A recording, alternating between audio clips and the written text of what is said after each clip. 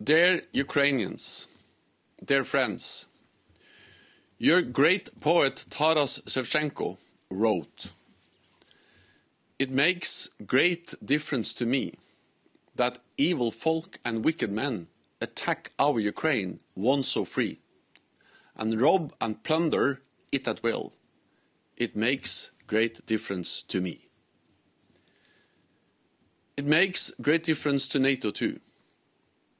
Russia's war in Ukraine is the greatest crisis for Europe's security since World War II. The Ukrainian armed forces and the whole Ukrainian people are showing tremendous courage and determination. And under President Zelensky's leadership, you are an inspiration to the world. I pay tribute to all those who have lost their lives or been injured, and to all Ukrainian men and women who are fighting for their country, their freedom, and their loved ones. NATO and allies have been supporting Ukraine since the country won its independence.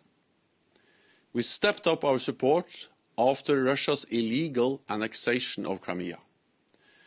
And we have been doing more than ever since the start of Russia's invasion.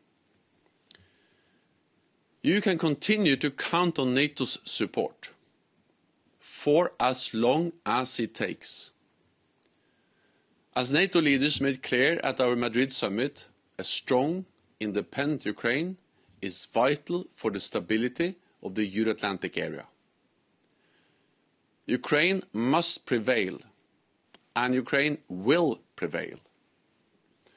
On your Independence Day, I wish you strength and success.